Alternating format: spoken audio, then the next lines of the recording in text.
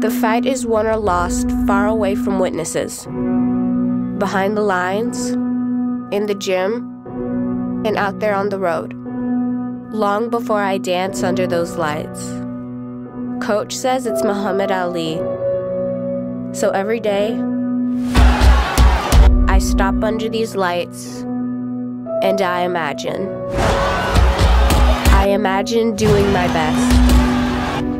I imagine winning. I imagine a world where it doesn't matter if you're a boy or a girl, what matters is how well you play.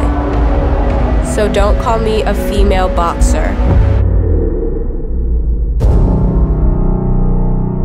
I'm a boxer.